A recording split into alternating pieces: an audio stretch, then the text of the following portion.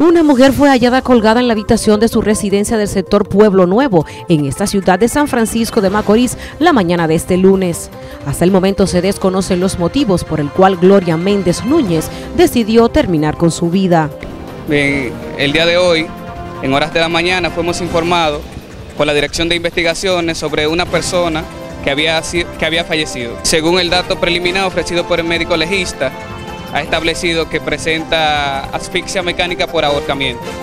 Si estas son las actuaciones preliminares, luego estaremos indagando por cualquier eventualidad o hecho nuevo que pueda surgir luego de la investigación. Méndez Núñez laboraba como secretaria de una empresa constructora de esta ciudad. NTN, Joanny Paulino.